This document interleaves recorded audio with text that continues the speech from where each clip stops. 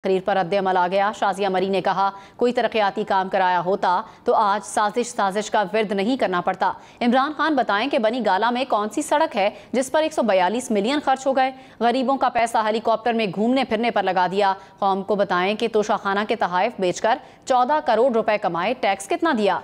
2725 घंटे इमरान खान का हेलीकॉप्टर कहाँ इस्तेमाल होता रहा? कौम को बताएँ कि घड़ी और हार कहाँ है। हर नए दिन इमरान खान की करप्शन की कहानी के साथ एक नई फराह गुज्जर सामने आएगी। फॉरेन फंडिंग का फैसला आने दें, इमरान खान के काले करतूत आया हो जाएँगे। इमरान खान कौम को बताएँ, भारतीयों से मुबैना फंडिंग के बदले में क्या दिया?